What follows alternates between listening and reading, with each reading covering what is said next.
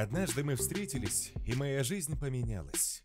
Я переехал в страну своей мечты – Соединенные Штаты Америки. Хотите узнать весь путь эмиграции через Мексику в США из СНГ от А до Я? Переходите в плейлист по ссылке в конце видео. Вы узнаете, какие документы необходимо взять с собой в Тихуану, как подготовиться к интервью иммиграционному суду в США. Мы покажем вам GPS-браслет, который надевают на ногу семейным заявителям и лицам, освобожденным из дотационного центра под поручительство. Расскажем, как найти поручителя в США и зачем в процессе психолог. Вы узнаете, куда попадают бессемейные мигранты, статистику судебных округов по штатам и процедуру защиты кейса в лагере. Здесь собрана вся необходимая и актуальная информация на 2020 год. Удачи вам в иммиграции!